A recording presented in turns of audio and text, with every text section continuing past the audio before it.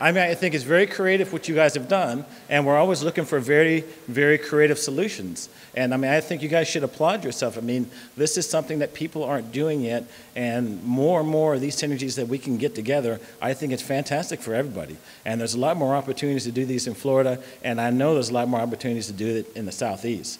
I mean, so I would encourage you guys to move forward and drive hard ahead. And if you ever need for somebody else to go along and help you push this, let me know because I'd be more than happy to go out there and tell other regulators what this means for their state and what the things that they can get done. But I do applaud you and thank you very much for letting me come up here.